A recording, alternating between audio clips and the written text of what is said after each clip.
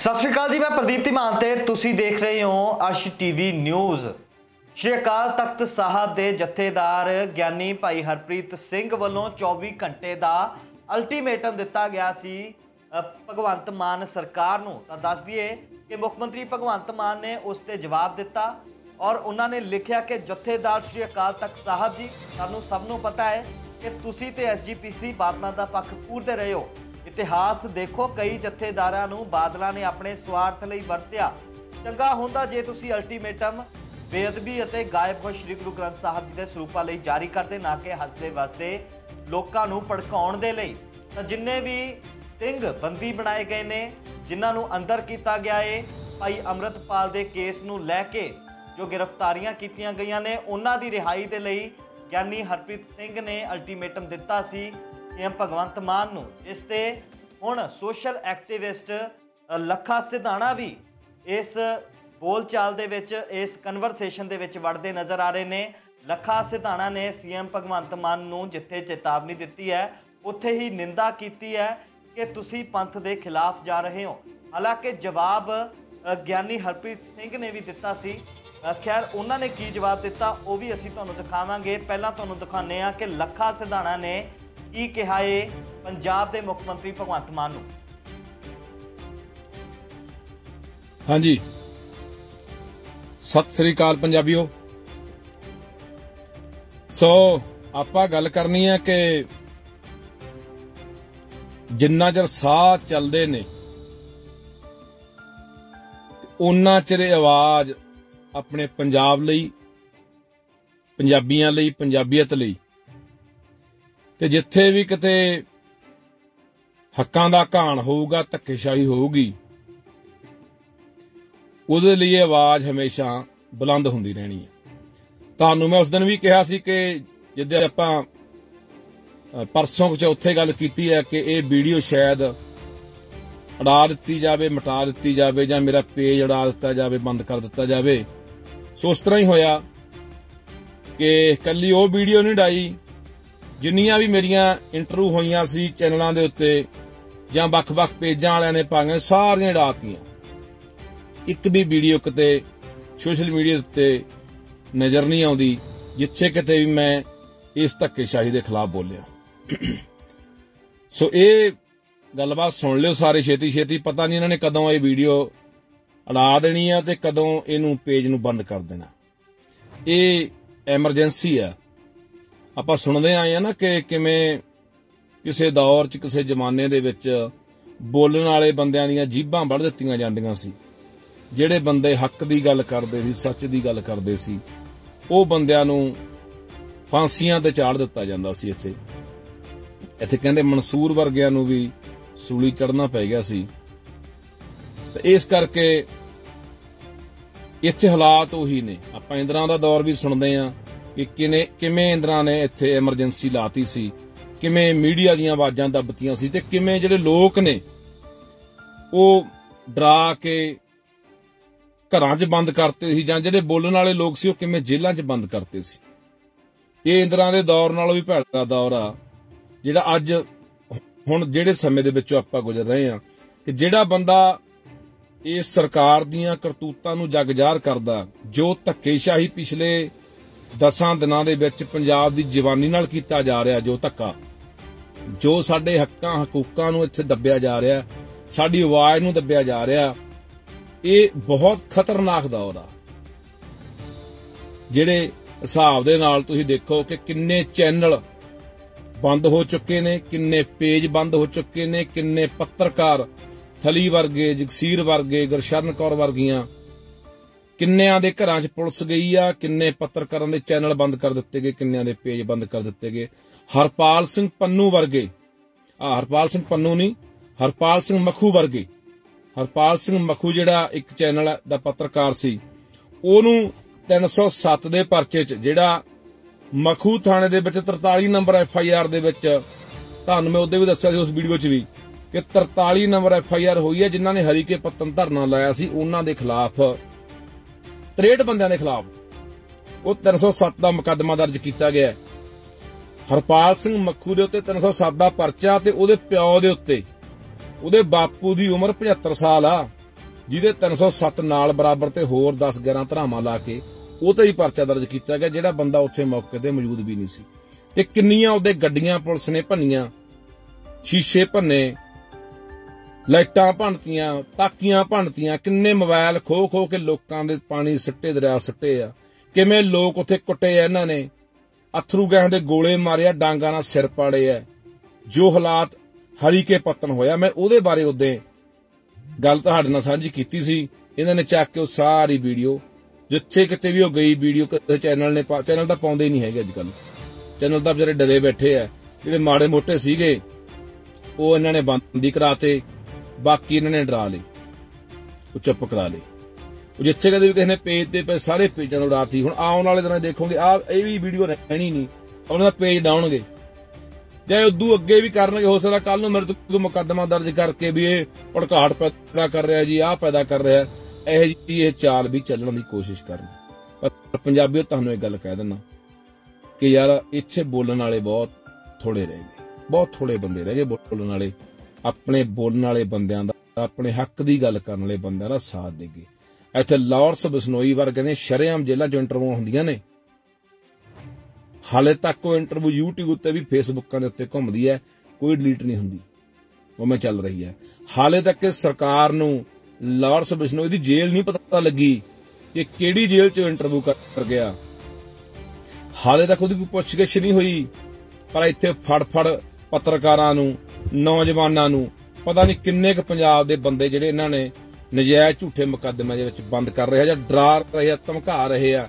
ਕੋਈ ਬੰਦਾ ਟਿੱਪਣੀ ਕਰਦਾ ਹੈ, ਕੋਈ ਗੱਲਬਾਤ ਸਾਂਝੀ ਕਰਦਾ, ਕੋਈ ਪੋਸਟ, ਕੋਈ ਵੀਡੀਓ, ਉਹਨੂੰ ਕਿਵੇਂ ਚੱਕ ਕੇ ਇਹ, ਉਹਨੂੰ ਡਰਾ ਕੇ, ਥਾਣੇ 'ਚ ਲਿਜਾ ਕੇ ਇੱਕ ਦਹਿਸ਼ਤ ਦਾ ਮਾਹੌਲ ਪੈਦਾ ਕੀਤਾ ਜਾ ਰਿਹਾ ਹੈ।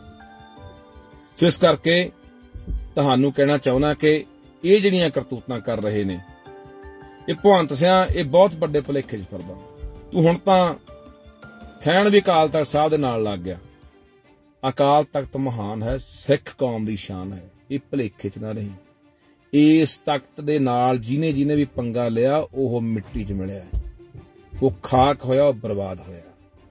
ਇੱਥੇ ਸ਼ੇਰੇ ਪੰਜਾਬ ਮਹਾਰਾਜਾ ਰਣਜੀਤ ਸਿੰਘ ਵਰਗਾ ਨੂੰ ਵੀ ਆ ਕੇ ਝੁਕਣਾ ਪਿਆ ਸੀ ਤੇ ਜਿਹਦੇ ਨਾਲ ਤੂੰ ਖੈਨਾ ਇਹ ਦਿਮਾਗ ਦੇ ਵਿੱਚੋਂ ਭਲੇਖਾ ਕੱਢਦੇ ਆਪਣਾ।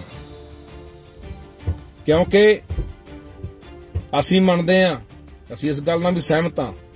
ਸਾਰੀ ਦੁਨੀਆ ਨੂੰ ਪਤਾ ਹੈ ਇਹ ਕਾਲ ਤਖਤ ਸਾਹਿਬ ਦੇ ਜਹੇਦਾਰ ਬਾਦਲਾਂ ਦੇ ਗੀਜੇ ਚੋਂ ਨਿਕਲਦੇ ਰਹੇ, ਬਾਦਲਾਂ ਦੇ ਲਿਫਾਫੇ ਚੋਂ ਨਿਕਲਦੇ ਰਹੇ ਆ ਪਰ ਜੋ ਫੈਸਲਾ ਕਾਲ ਤਖਤ ਸਾਹਿਬ ਦੇ ਜਹੇਦਾਰ ਨੇ ਆਪਣੀ ਕੌਮ ਨਾਲ ਖੜ ਕੇ ਕੀਤਾ ਜੋ ਉਹਨਾਂ ਨੇ ਐਲਾਨ ਕੀਤਾ ਕਿ ਅਸੀਂ ਪੰਜਾਬ ਦੀ ਜਵਾਨੀ ਜਿਹੜੀ ਤੁਸੀਂ ਦਹਿਸ਼ਤ ਦੇ ਵਿੱਚ ਡਰਾ ਕੇ ਜਵਾਨਾਂ ਨੂੰ, ਨੌਜਵਾਨਾਂ ਨੂੰ ਜੋ ਐਨਐਸਏ ਲਾ ਕੇ ਉੱਥੇ ਛੱਟਿਆ ਸਾਹਮਣੇ ਜੇਲ੍ਹਾਂ ਤੇ ਲਿਜਾ ਕੇ, ਤੇ ਜੋ ਇੱਥੇ ਤੁਸੀਂ ਫੜੋ ਫੜੀ ਕਰ ਰਹੇ ਆ, ਉਹਦੇ ਲਈ ਜਿਹੜਾ ਕਾਲਤਾ ਸਾਹਿਬ ਦੇ ਜਹਦਾਰ ਦਾ ਬਿਆਨ ਆਇਆ, ਸਲਾਘਾਯੋਗ ਬਿਆਨ ਹੈ ਜਿਹਦੇ ਮਰਜ਼ੀ ਜੇਬ ਚੋਂ ਨਿਕਲਿਆ ਹੋਵੇ। ਪਰ ਜੋ ਉਹਨਾਂ ਨੇ ਇਹ ਫੈਸਲਾ ਲਿਆ, ਅਸੀਂ ਅਕਾਲ ਤਖਤ ਸਾਹਿਬ ਦੀ ਮਰਿਆਦਾ ਨੂੰ, ਅਕਾਲ ਤਖਤ ਸਾਹਿਬ ਦੇ ਉਸ ਮਰਿਆਦਾ ਨੂੰ ਕਾਇਮ ਰੱਖਣਾ ਇਹ ਇਹ ਹਰ ਸਿੱਖ ਦਾ ਫਰਜ਼ ਹੈ। ਸੋ ਜਿਹੜੀਆਂ ਗੱਲਾਂ ਤੇ ਤੂੰ ਆ ਗਿਆ ਨਾ, ਇਹ ਬਹੁਤ, ਇਹ ਬੁੱਚੜਪਣੇ ਵਾਲੀਆਂ ਗੱਲਾਂ ਨੇ। ਅੱਜ ਤਾਂ ਇਹ ਵੀ ਸੁਣਨ ਚ ਆਇਆ ਬੀਬੀਸੀ ਜਿਹੜਾ ਪੰਜਾਬੀ ਦਾ ਉਹਨਾਂ ਦਾ ਪੇਜ ਸੀ, ਉਹ ਵੀ ਪੰਜਾਬ ਦੇ ਵਿੱਚੋਂ ਬੰਦ ਕਰ ਦਿੱਤਾ ਗਿਆ। ਮਿੰਟੂ ਗੁਰਸਰੀਏ ਦਾ ਪੇਜ ਉਹਦੀ ਜਿਹੜੀ ਆਈਡੀ ਆ, ਉਹ ਉਡਾ ਦਿੱਤੀ ਗਈ। ਜਿੰਨੀਆਂ ਵੀਡੀਓ ਤੁਸੀਂ ਪੰਜਾਬ ਦੇ ਲੋਕੋ ਅੱਜ ਚੱਕ ਕੇ ਦੇਖ ਲਓ, ਕੋਈ ਵੀ ਤੁਹਾਨੂੰ ਵੀਡੀਓ ਪਿਛਲੇ 10 ਦਿਨਾਂ ਦੀ ਕਿਸੇ ਚੈਨਲ ਦੇ ਉੱਤੇ, ਕਿਸੇ ਪੇਜ ਦੇ ਉੱਤੇ ਸਭ ਥਾਂ ਇਹਨਾਂ ਨੇ ਚੱਕਤੀਆਂ ਡਾਤੀਆਂ ਇਹ ਤਾਨਾਸ਼ਾਹੀ ਨਹੀਂ, ਇਹ ਧੱਕੇਸ਼ਾਹੀ ਨਹੀਂ ਜ਼ੁਲਮ ਨਹੀਂ ਤੇ ਹੋਰ ਕੀ ਹੈ? ਆਵਾਜ਼ ਨੂੰ ਦੱਬਣਾ, ਆਵਾਜ਼ ਨੂੰ ਬੰਦ ਕਰਨਾ। ਕਿਹੜੇ ਜ਼ਮਾਨੇ, ਕਿਹੜੇ ਦੌਰ 'ਚ ਅਸੀਂ ਜੀ ਰਹੇ ਹਾਂ ਯਾਰ? ਇਹ ਦਹਿਸ਼ਤ ਦਾ ਮਾਹੌਲ, ਇਹ ਡਰ ਦਾ ਮਾਹੌਲ ਜਿਹੜਾ ਤੂੰ ਪੈਦਾ ਕਰ ਰਿਹਾ। ਤੇ ਮੈਂ ਲੋਕਾਂ ਨੂੰ ਅਪੀਲ ਕਰਦਾ ਕਿ ਜੋ ਜਹਦਾਰ ਸਾਹਿਬ ਵੱਲੋਂ ਹੁਕਮ ਨੇ ਅਕਾਲ ਤਖਤ ਸਾਹਿਬ ਦੇ ਵੱਲੋਂ ਉਸ ਅਕਾਲ ਤਖਤ ਸਾਹਿਬ ਦੀ ਮਰਿਆਦਾ ਨੂੰ ਅਸੀਂ ਧਿਆਨ 'ਚ ਰੱਖ ਕੇ ਉਹਨਾਂ ਹੁਕਮਾਂ ਨੂੰ ਅਸੀਂ ਮੰਨਣਾ ਸਾਡਾ ਫਰਜ਼ ਬਣਦਾ, ਜੋ ਧੱਕੇਸ਼ਾਹੀ ਇਹ ਕਰ ਰਹੇ ਨੇ, ਲਗਾਤਾਰ ਜੋ ਕਰਦਾਰ ਕੁਸ਼ੀ ਸਿੱਖਾਂ ਦੀ ਪੂਰੀ ਦੁਨੀਆ ਦੇ ਵਿੱਚ ਕੀਤੀ ਗਈ, ਜੋ ਬਦਨਾਮੀ, ਜੋ ਕਲੰਕ ਸਿੱਖਾਂ ਦੇ ਮੱਥੇ ਪੂਰੇ ਭਾਰਤ ਦੇ ਵਿੱਚ ਲਾਇਆ ਗਿਆ, ਇੱਥੋਂ ਦੇ ਗੋਦੀ ਮੀਡੀਆ ਦੁਆਰਾ ਤੇ ਇਹਨਾਂ ਦੁਆਰਾ ਸਾਰਾ ਰਲ ਮਿਲ ਕੇ ਜੋ ਇੱਥੇ ਪ੍ਰਾਪੇਗੰਡਾ ਕੀਤਾ ਗਿਆ। ਹੁਣ ਤੁਹਾਨੂੰ ਮੈਂ ਹੋਰ ਗੱਲ ਦੱਸ ਦਿਨਾ। ਚੈਨਲ ਵਾਲਿਓ, ਤੁਸੀਂ ਵੀ ਧਿਆਨ ਮਾਰੋ। ਅੱਜ ਇਸ ਗੱਲ ਦੀ ਵੀ ਪਰਖ ਹੋਣੀ ਆ ਕਿ ਕਿਹੜਾ ਪੰਜਾਬ ਨਾਲ ਖੜਿਆ ਕਿਹੜਾ ਆਪਣੇ ਲੋਕਾਂ ਨਾਲ ਖੜਾ ਤੇ ਕਿਹੜਾ ਉਹਨਾਂ ਦੇ ਵਿਰੁੱਧ ਖੜਾ ਅੱਜ ਤੁਸੀਂ ਚੱਕ ਚੱਕ ਕੇ ਇੱਕ ਫੋਟੋ ਆ ਜਿਹੜੀ ਉਹ ਕਿਸੇ ਪਤਾ ਨਹੀਂ ਕਿਸੇ ਕੁੜੀ ਦੀ ਪਤਾ ਨਹੀਂ ਕਿਹਦੀ ਆ, ਉਹ ਲਗਾਤਾਰ ਤੁਸੀਂ ਉਹ- ਉਹਨੂੰ ਚਲਾ ਰਹੇ ਹੋ, ਵਾਇਰਲ ਕਰ ਰਹੇ ਹੋ। ਇਹ ਗੱਲਾਂ ਚੰਗੀਆਂ ਨਹੀਂ ਹੁੰਦੀਆਂ। ਬਾਕੀ ਤੁਹਾਨੂੰ ਥੱਲੇ ਤੁਹਾਨੂੰ ਲੋਕ ਹੀ ਦੱਸ ਦਿੰਦੇ ਹੋਣੇ ਆ ਕਿ ਦੋ- ਜੋ ਖੰਡ ਤੁਹਾਨੂੰ ਪੈਂਦੀ ਹੈ, ਜੋ ਤੁਸੀਂ ਲਗਾਤਾਰ ਇੱਕ ਇਹ ਜੋ ਜੋ ਮੀਡੀਆ ਟ੍ਰਾਇਲ ਤੁਸੀਂ ਚਲਾ ਰਹੇ ਹੋ, ਇਹ ਚੰਗੀਆਂ ਗੱਲਾਂ ਕਰ ਰਹੇ ਹੋ? ਇਹ ਕਿਸੇ ਦੇ ਮਿੱਤ ਨਹੀਂ, ਕਿਸੇ ਦੇ ਸਕੇ ਨਹੀਂ। ਘੱਟੋ ਘੱਟ ਯਾਰ, ਇਹ ਆਪਦੀ ਜ਼ਮੀਰ ਨੂੰ ਤਾਂ ਮਾੜਾ ਮੋਟਾ ਤੁਹਾਨੂੰ ਇਹ, ਉਹਦਾ ਨਾਲ ਲਾਹਨਤਾ ਪਾਵੇ ਸਾਡੀ ਜ਼ਮੀਰ। ਤੁਹਾਡੀ ਜ਼ਮੀਰ ਨੇ ਤੁਹਾਨੂੰ ਲਾਹਨਤਾਂ ਪਾਉਣੀਆਂ ਨੇ ਕਿ ਅਸੀਂ ਸੱਚ ਨਹੀਂ, ਸੱਚ ਨੂੰ ਦਬਾ ਕੇ ਰੱਖਿਆ ਤੇ ਝੂਠ ਨੂੰ ਸੱਚ ਬਣਾ ਕੇ ਲੋਕਾਂ ਦੇ ਅੱਗੇ ਪੇਸ਼ ਕਰਦੇ ਰਹੇ। ਜੋ ਲਗਾਤਾਰ ਤੁਸੀਂ ਕਰ ਰਹੇ ਹੋ। ਇਹ ਚੰਗਾ ਨਹੀਂ ਕਰ ਰਹੇ ਪੰਜਾਬ ਦੇ ਨਾਲ। ਤੇ ਪੰਜਾਬ ਦੇ ਲੋਕੋ ਤੁਹਾਨੂੰ ਵੀ ਕਹਿਣਾ ਚਾਹੁੰਦਾ। ਇਹ ਮੀਡੀਆ ਵਾਲਿਆਂ ਨੂੰ ਵੀ ਹੁਣ ਪਛਾਣ ਕੇ ਰੱਖਿਓ। ਇਹ ਇਹ ਵੀ ਪੂਰੀ ਨਿਗਾਹ ਰੱਖਿਓ ਕਿ ਇਹ ਇਹ ਤੁਹਾਡੇ ਨਾਲ ਕਿੱਥੇ ਖੜੇ ਨੇ ਤੇ ਕਿਹੜੇ ਪੱਖ ਤੇ ਖੜੇ ਨੇ। ਕੱਲੇ ਇਹ ਪੈਸਾ ਕਮਾਉਣ ਵਾਲੇ ਨੇ ਜਾਂ ਇਹ ਇਹਨੇ ਦਬਨ ਵਾਲੇ ਨੇ।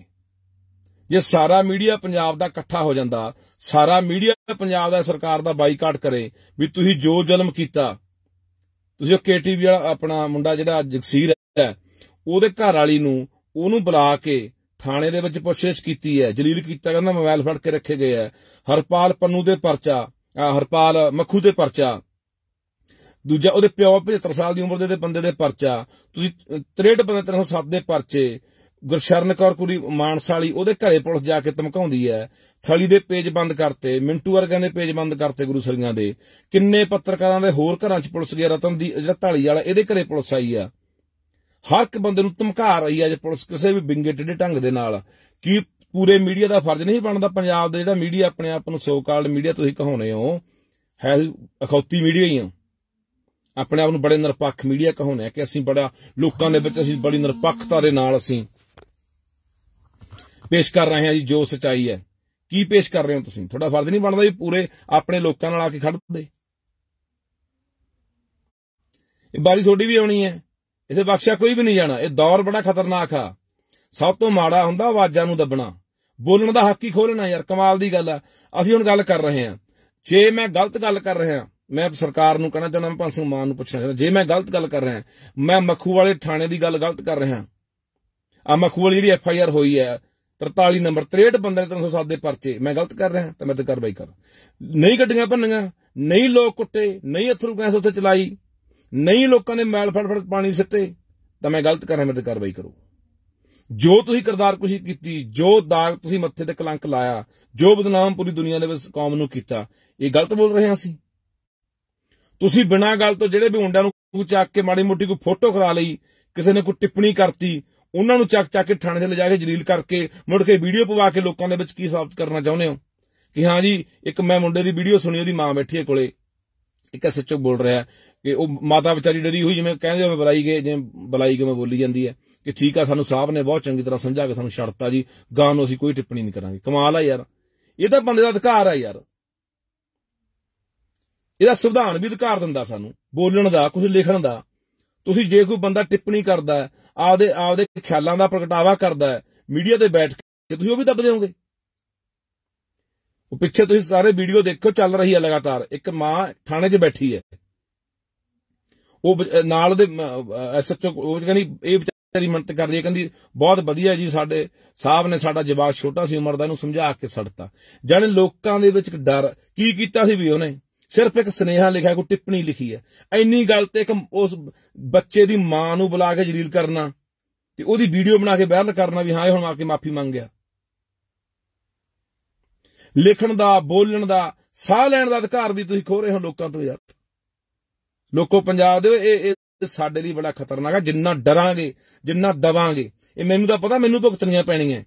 ਮੇਰੇ ਖਿਲਾਫ ਤਾਂ ਇਹ ਹੋ ਸਕਦਾ ਕੋਈ ਕੱਲ ਨੂੰ ਕੋਈ ਇਹੋ ਜਿਹਾ ਇਲਜ਼ਾਮ ਲਾ ਕੇ, ਕੋਈ ਨਾ ਕਹੇ ਕਿ ਨਾ ਕਹਾਣੀ ਨਾ ਜੋੜ ਕੇ ਪਹਿਲਾਂ ਮੇਰੇ ਤੇ ਇਹਨਾਂ ਨੇ ਉਹ ਹਰੀਕੇ ਪੱਤਨ ਤਰਨ ਤਾਰਨ ਪਰਚਾ ਦਿੱਤਾ ਸੀਗਾ, ਵੀ ਇਹ ਚੱਟਿਆਂ ਨਾਲ ਸੰਬੰਧ ਹੈ ਇਹਦੇ।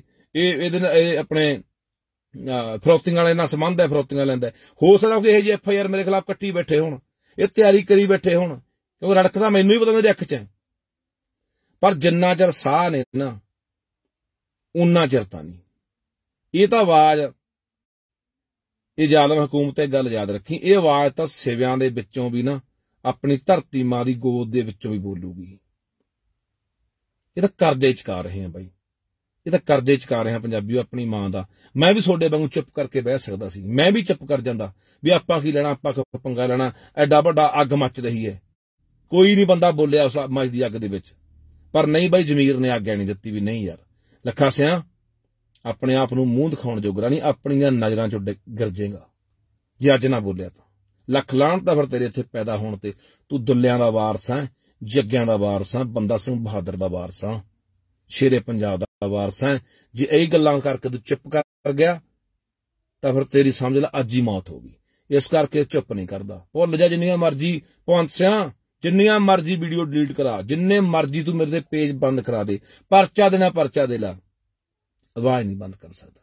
ਇਹੀ ਮੈਂ ਲੋਕਾਂ ਨੂੰ ਕਹਿਣਾ ਚਾਹੁੰਦਾ, ਪੰਜਾਬ ਦੇ ਲੋਕੋ, ਆਵਾਜ਼ ਬਣੋ ਯਾਰ। ਆਪਣੇ ਪੰਜਾਬ ਦੀ ਆਵਾਜ਼ ਬਣੋ।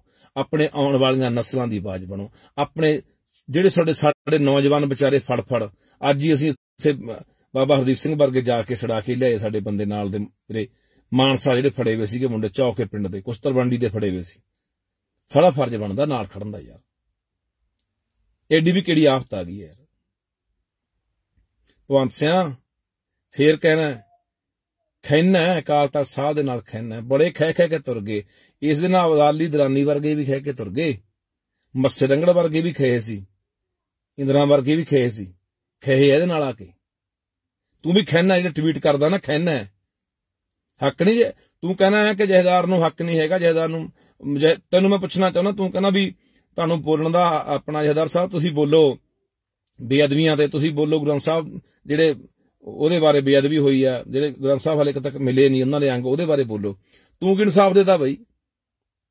ਤੂੰ ਖਾਨਾ ਪੂਰਤੀ ਕਰਕੇ ਕੱਲਾ ਡਰਾਮਾ ਰਚ ਕੇ, ਬਾਦਲਾਂ ਨੂੰ ਕੱਲਾ ਨਾਮਜ਼ਦ ਕਰਕੇ ਚਲਾਣ ਦੇ ਵਿੱਚ। ਕੀ ਕਰਤਾ ਤੂੰ? ਇਹ ਇੱਕ ਨੂੰ ਦੱਬੇਗਾ, ਇੱਥੇ ਹਜ਼ਾਰਾਂ ਉੱਠਣਗੇ, ਲੱਖਾਂ ਉੱਠਣਗੇ। ਇਹ ਤੇਰਾ ਭੁਲੇਖਾ ਹੈ। ਜਿਹੜੀ ਕੁਰਸੀ ਤੇ ਤੂੰ ਬੈਠਾ ਨਾ, ਇਸੇ ਕੁਰਸੀ ਤੇ ਬਹੁਤ ਆ ਕੇ ਤੁਰ ਗਏ, ਤੇ ਬਹੁਤਿਆਂ ਨੇ ਆਉਣਾ ਹੈ। ਇੱਥੇ ਕਦੇ ਬਾਦਲ ਵੀ ਬੈਠ ਕੇ ਕਹਿੰਦੇ ਹੁੰਦੇ ਸੀਗੇ ਕਿ 25 ਸਾਲ ਰਾਜ ਕਰਾਂਗੇ। ਜੋ ਮਰਜ਼ੀ ਧੱਕੇ ਨਾਲ ਨਜਾਇਜ਼ ਚੱਕ ਚੱਕ ਪਰਚੇ ਲੋਕਾਂ ਦੇ ਪਾਈ ਜਾਂਦੇ ਸੀ। ਕਿੱਥੇ ਅੱਜ? ਭਾਲ ਨਹੀਂ ਸੀ ਆਉਂਦੇ। ਤੇ ਉਹ ਲੋਕੋ ਤੁਹਾਨੂੰ ਮੈਂ ਗੱਲ ਕਹਿਣਾ ਚਾਹੁੰਦਾ ਓਏ, ਉਹ ਗੱਲ ਸੁਣ ਲਓ ਓਏ। ਉਹ ਅਸੀਂ ਤਾਂ ਸਾਡੀ ਤਾਂ ਮਾਤੀ ਇੰਨੀ ਕਾ ਓਏ।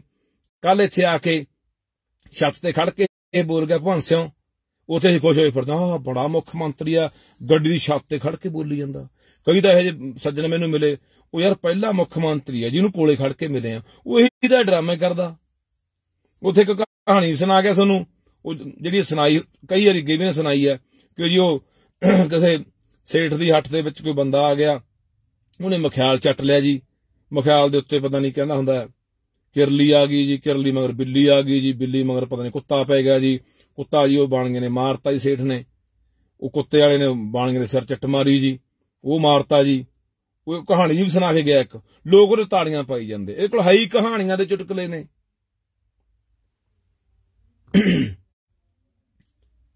ਸਭ ਪੰਜਾਬ ਦੇ ਨਾਲ ਖੜ, ਪੰਜਾਬ ਦੇ ਨਾਲ। ਤੈਨੂੰ 92 ਚ ਕੇ ਦਿੱਤੇ ਆ। ਆਵਾਜ਼ਾਂ ਨਾ ਦੱਬ, ਦਵਾ ਨਾ ਡਰਾ ਨਾ ਲੋਕਾਂ ਨੂੰ। ਇਹ ਡਰਾਏ ਲੋਕ ਇੰਨਾ ਨਹੀਂ ਦਬਦੇ ਹੁੰਦੇ। ਜਿੰਨਾ ਸਪਰਿੰਗ ਹੈ, ਜਿੰਨਾ ਸਪਰਿੰਗ ਨੂੰ ਦੱਬੀ ਜਾਓਗੇ, ਬੁੜਕ ਕੇ ਮੱਥੇ 'ਚ ਵੱਜੂ। ਲੋਕਾਂ ਦੇ ਸਬਰ ਦਾ ਇਮਤਿਹਾਨ ਨਾ ਲਓ। ਬਹੁਤ ਹੋ ਗਿਆ। ਬੜਾ ਕੁਝ ਤੁਸੀਂ ਚਲਾ ਕੇ ਦੇਖ ਲਿਆ।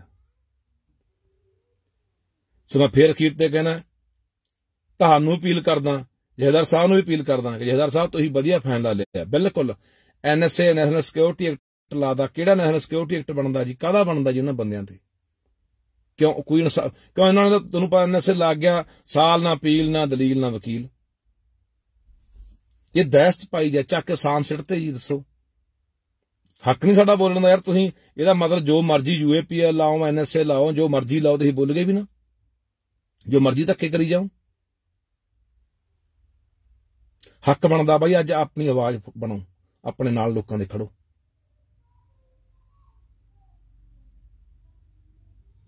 ਸੋ ਮੈਂ ਚਾਹੁੰਦਾ ਇਹ ਦੇਖ ਲਓ ਬਾਈ, ਛੇਤੀ ਛੇਤੀ ਮੇਰੀਆਂ ਗੱਲਾਂ ਸੁਣ ਲਓ। ਇਹਨਾਂ ਨੇ ਲਾ ਦੇਣੀ ਹੈ, ਪੇਜ ਵੀ ਡਾ ਦੇਣਾ, ਹੋ ਸਕਦਾ ਕੱਲ ਨੂੰ ਕੋਈ ਪਰਚਾ ਦੇ ਕੇ ਕਹਿ ਦੇਣ, ਲਓ ਵੀ ਲੱਖਾ ਹੀ ਫੜ ਲਿਆ। ਲੱਖਾ ਇਹ ਸ਼ਾਮਲ ਸੀ ਜੀ ਲੱਖਾ ਉਹ ਸ਼ਾਮਲ ਸੀ। ਕਹਾਣੀਆਂ ਤਾਂ ਤੁਹਾਨੂੰ ਦੇਖਦੀਆਂ ਨਹੀਂ ਨਹੀਂ ਬਣਾ ਰਹੇ, ਕੀ ਬਣਾ ਰਹੇ ਹੈ? ਉੱਥੇ ਸੀਸੀਟੀਵੀ ਆ ਗਈ ਜੀ। ਆਹ ਫੁੱਟ ਜਾ ਜੀ, ਆਹ ਫੁੱਟ ਜਾ ਲਗਾਤਾਰ ਕਹਾਣੀਆਂ ਦਸ ਦਿਨ ਤੋਂ ਆਪਾਂ ਇਹਦੇ ਚ ਸੁਣ ਰਹੇ ਚੱਲ ਰਹੀਆਂ ਨੇ। ਕਹਾਣੀ ਬਣਾਉਣੀ ਇਹਨਾਂ ਲਈ ਕਿੰਨੀ ਕੁ ਔਖੀ ਹੈ, ਪੁਲਿਸ ਲਈ, ਪ੍ਰਸ਼ਾਸਨ ਲਈ ਜਾਂ ਸਰਕਾਰਾਂ ਲਈ, ਜੋ ਮਰਜ਼ੀ ਮੜ ਦੇਣ।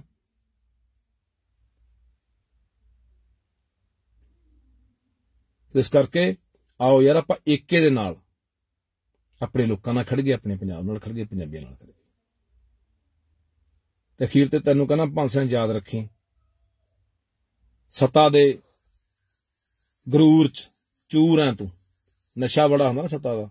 ਪਾਵਰ ਦਾ ਨਸ਼ਾ ਬੜਾ ਹੁੰਦਾ।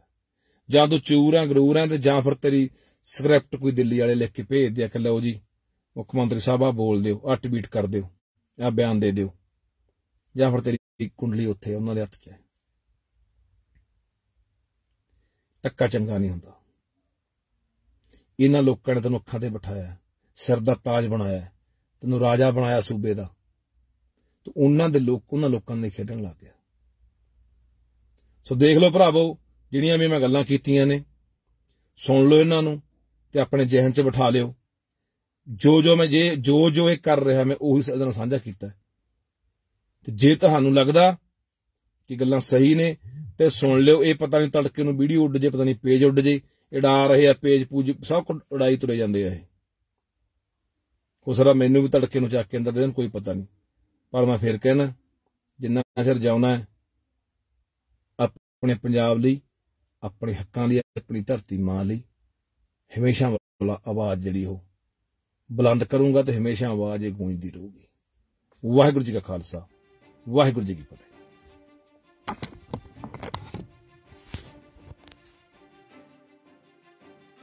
ਤਾਂ ਲੱਖਾ ਸਿਧਾਣਾ ਨੇਤਾ ਸੀਐਮ ਭਗਵੰਤ ਮਾਨ ਨੂੰ ਜੋ ਕਹਿਣਾ ਸੀ ਉਹ ਕਹਿ ਦਿੱਤਾ ਏ ਰਸਦੀਏ ਕਿ ਦੇਰ ਰਾਤ ਗਿਆਨੀ ਹਰਪ੍ਰੀਤ ਸਿੰਘ ਵੱਲੋਂ ਵੀ ਇੱਕ ਸਟੇਟਸ ਜੋ ਸੀ ਉਹ ਅਪਡੇਟ ਕੀਤਾ ਗਿਆ। ਉਹਨਾਂ ਨੇ ਲਿਖਿਆ, ਭਗਵੰਤ ਮਾਨ ਜੀ, ਜਿਵੇਂ ਤੁਸੀਂ ਪੰਜਾਬ ਦੀ ਨੁਮਾਇੰਦਗੀ ਕਰਦੇ ਹੋ, ਉਸ ਤਰ੍ਹਾਂ ਮੈਂ ਵੀ ਆਪਣੀ ਕੌਮ ਦਾ ਕੌਮ ਦਾ ਨਿਮਾਣਾ ਜਿਹਾ ਨੁਮਾਇੰਦਾ ਹਾਂ।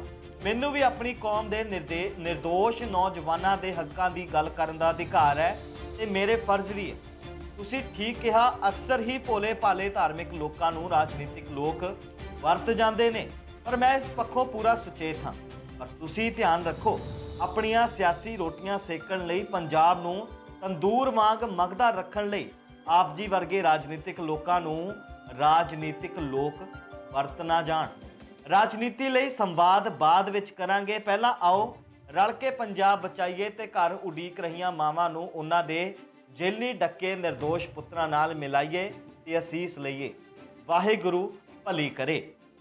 ਤਾਂ ਜਥੇਦਾਰ ਸ਼੍ਰੀ ਅਕਾਲ ਤਖਤ ਸਾਹਿਬ ਨੇ ਤਾਂ ਸੀਐਮ ਭਗਵੰਤ ਮਾਨ ਨੂੰ ਮਿਲ ਕੇ ਚੱਲਣ ਦੀ ਗੁਜ਼ਾਰਿਸ਼ ਕੀਤੀ ਹੈ। ਉਹਨਾਂ ਨੇ ਕਿਹਾ ਕਿ ਰਾਜਨੀਤਿਕ ਜੋ ਗੱਲਾਂ ਨੇ, ਰਾਜਨੀਤਿਕ ਜੋ ਇਲਜ਼ਾਮ ਨੇ, ਇਹਨਾਂ ਬਾਰੇ ਬਾਅਦ ਚੋਂ ਗੱਲ ਕਰਾਂਗੇ। ਪਹਿਲਾਂ ਜੋ ਮੁੱਖ ਮੁੱਦਾ ਇਹ ਜੋ ਗ੍ਰਿਫਤਾਰ ਹੋਏ ਨੌਜਵਾਨ ਨੇ, ਉਹਨਾਂ ਦੇ ਮੁੱਦੇ ਤੇ ਗੱਲ ਕਰਦੇ ਹਾਂ। ਹਾਲਾਂਕਿ ਸੀਐਮ ਭਗਵੰਤ ਮਾਨ ਨੇ ਬੀਤੇ ਦਿਨ ਵੀ ਕਿਹਾ ਸੀ ਕਿ ਜਿੰਨੇ ਨੌਜਵਾਨ નિર્ਦੋਸ਼ ਨੇ, ਉਹਨਾਂ ਨੂੰ ਛੱਡਿਆ ਜਾ ਰਿਹਾ ਹੈ, ਜਿਨ੍ਹਾਂ ਤੇ ਕੋਈ ਨਾ ਕੋਈ ਕਾਰਵਾਈ ਬਣਦੀ ਹੈ।